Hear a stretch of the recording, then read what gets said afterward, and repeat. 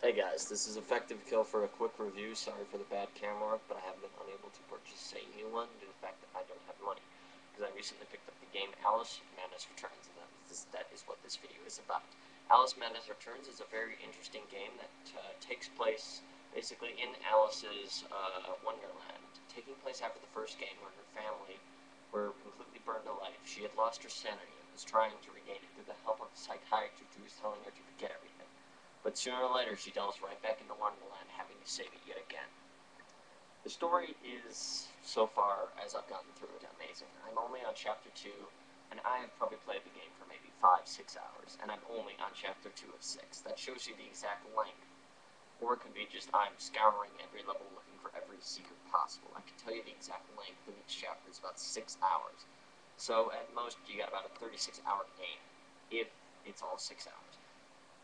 Other than that, the environments look very good. It's a very dark, bleak feel. For example, when you go and the Hatter's Domain, it has a very, very mechanized feel, but when you go into the Ice Wasteland in the second level, in the first part, it has just the cold feel of the wasteland. It's very amazing. The enemies fit the type. You have to constantly change your strategy while fighting enemies in large groups. Smaller groups you can easily just use, for example, the Vorpal Blade, the first weapon. I completely upgraded it it's one of the best weapons in my opinion. For example, you get the Vorpal Blade, a long-range spice rack weapon, and even something as a horse that you can slam into the ground and breaks the blocks of enemies.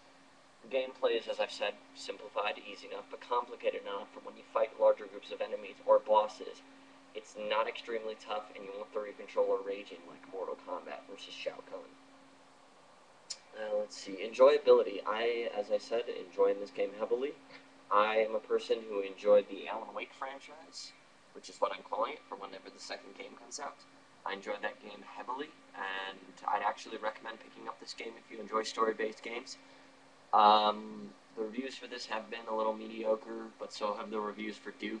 But I kind of agree with Duke. For a short review of Duke, uh, watch my next video where I'll be reviewing it for a short amount of time. Just for a quick preview, it's not good in my opinion. It's very boring. But Alice, overall, I give it an 8 out of 10. Some graphical glitches do stop it. The loading times are almost absent. Only when you're going into a new large area does it ever load. So, other than that, pick it up.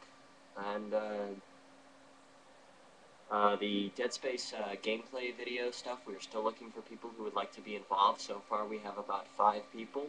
It'd be great to get more of uh, more of my subscribers and community involved. So, see you there, guys.